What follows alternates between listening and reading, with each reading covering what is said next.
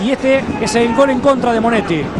Tiro de esquina cerrado, con buen chanfle de Chino Benítez. Y esta desgracia, esta fatalidad de Fernando Monetti. Para el comienzo de la victoria de Quilmes.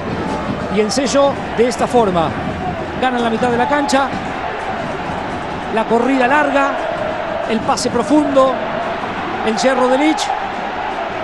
Y esta definición de Pérez Godoy. Muy bien amigos, nos vamos, ha ganado Quilmes, se queda en primera división.